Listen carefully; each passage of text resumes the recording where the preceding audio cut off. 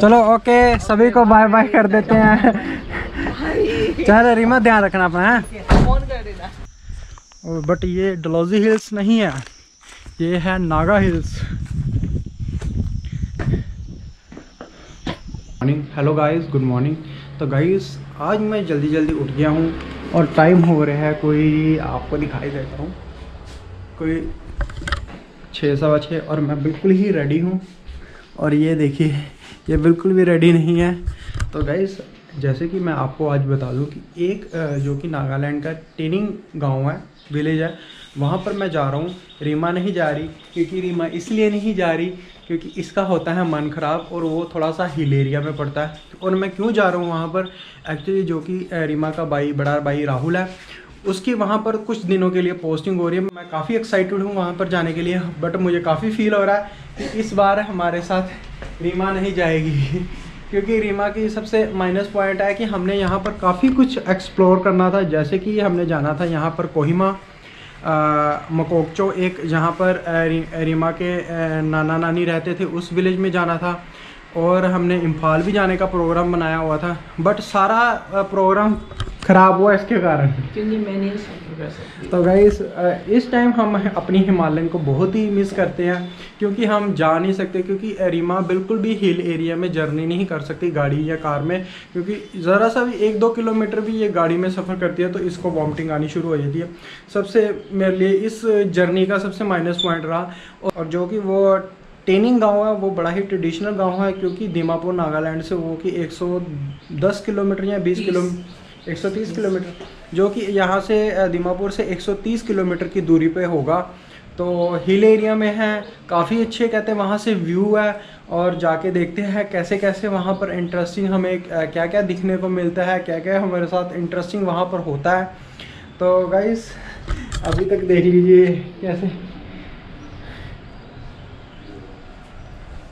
तो अभी बस गाड़ी आने ही वाली है और मैं और राहुल यहाँ पर से सोमो में जाएँगे जैसे कि गाइस मुझे राहुल ने बताया कि वहाँ की सड़क की कंडीशन काफ़ी ख़राब है और वो इसलिए अपनी गाड़ी नहीं लेके जा रहे। वो लेके जा रहे हैं, यहाँ से टैक्सी हायर करके हम जाएँगे वहाँ पर सोमो से। तो गाइस अभी हम सभी को अलविदा करते हुए जा रहे हैं और बड़े ही जल्दी दोबारा मिलेंगे। और राहुल राहुल भी पूरा रेडी शेडी होके आ चुका है। राहुल, एक बैग तो एक बैग मेरा होगा और ये- हाँ बस ये रहने दो इधर ही ये इधर ही रहने दो हाँ तो फाइनली जाने का वो घड़ी आ चुके हैं यहाँ पर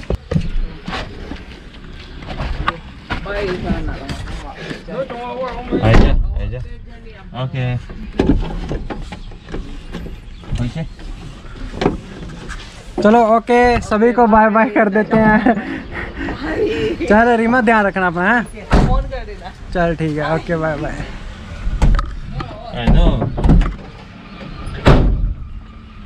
तो भाई हमारी जर्नी रेडी है जाने के लिए हम तैयार हैं। और राहुल भी बिल्कुल तैयार है देखते हैं कैसे हमारी जर्नी रहती है। और रीमा भी अभी भी यहाँ पर खड़े होके मम्मी पापा और रीमा कर रहे हैं यहाँ पर जाने के लिए। अलविदा।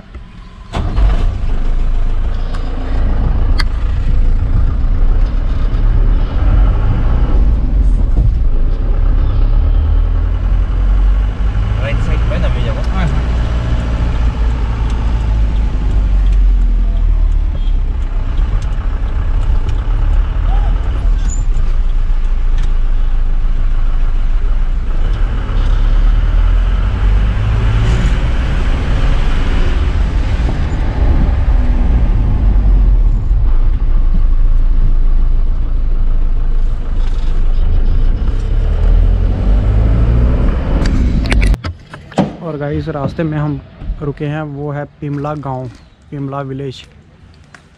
तो आगे की जर्नी देखते हैं कैसे बनती है। रास्ता तो बहुत ही ज़्यादा यहाँ से ख़राब होना शुरू हो गया हुआ है डस्ट ही डस्ट। और रास्ता भी मैं आपको दिखाता जाऊँगा। तो पिमला ना village? Inilah. Pimla village Pimla village है ये।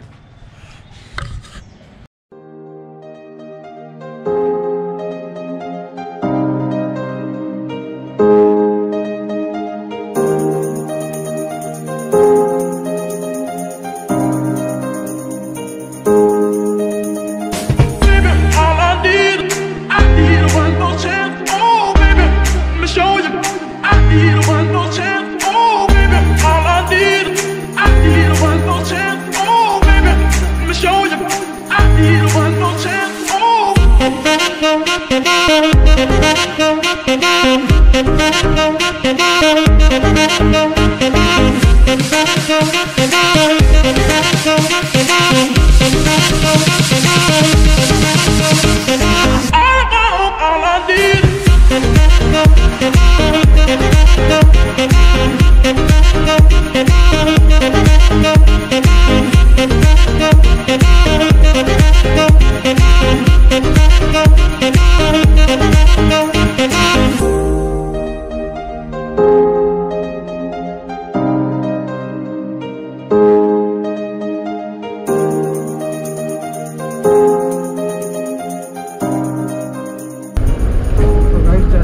देख ही सकते होंगे कि रास्ता बहुत ही ज़्यादा जहाँ का ख़राब है।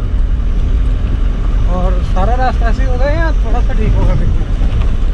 ऐसा ही होगा। तभी ऐसा होगा। तो जैसे कि सारा रास्ता ऐसे ही होगा कोई कम से कम यहाँ कितने किलोमीटर कवर कर लिया होगा?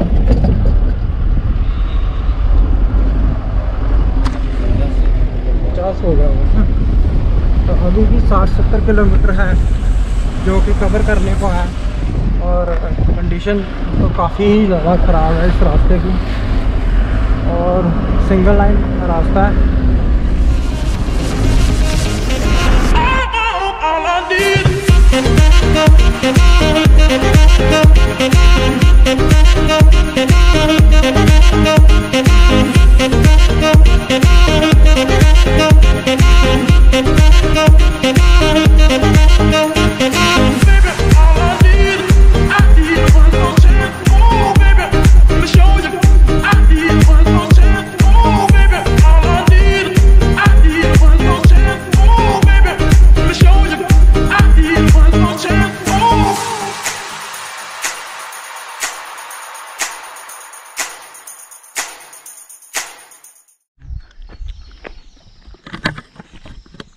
तो गाइस आपने जैसे कि रास्ते की हालत देख ही ली होगी, कितना का बुरा रास्ता है।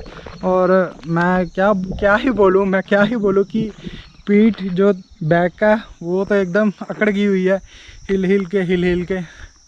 तो गाइस ये है कि यहाँ से व्यू काफ़ी अच्छा और काफ़ी काफ़ी हिली एरिया में है ये जगह जो है। जंक्शन का नाम तो मुझे भी नहीं मालूम बट जो भी है, काफ़ी सही है। अच्छा वो रास्ते से आना था जहाँ हमने, ये शॉर्टकट आ गया सीधा। हाँ। अच्छा ये तो फिर बड़ा पीछे से घूम के ना। अभी यहाँ से ऐसा करके जाएगा तो अभी इस रास्ते से जाएगा? और ये रास्ता कौन सा ये ऊपर? ये पेरेंट्स से अगर आता ना तो हम लोग ये रास्ता से निकलता अच्छा अच्छा अच्छा। पेरिंग से? पेरेंट पेरिंग से। तो गाइस आगे की रास्ता भी कुछ ऐसी ही कंडीशन लग रही है कुछ ज़्यादा खास तो नहीं लग रही बट ये है कि इतना पथरीला रास्ता नहीं होगा ना ये वो वाला। यहाँ से कितनी दूर होगा अभी? घंटे लग जाएगा। यहाँ से दो घंटे लग जाएँगे और?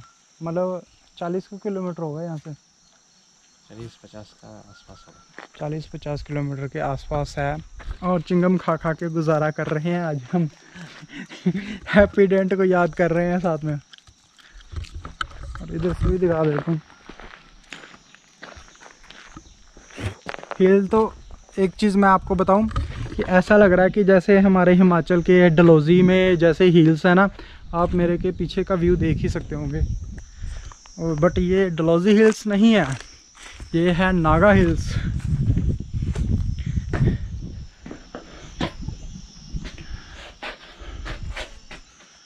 और काफ़ी सही लग रहा है अभी। ठंडा ठंडा भी यहाँ पर लग रहा है। हल्की हल्की ठंड भी है यहाँ पर।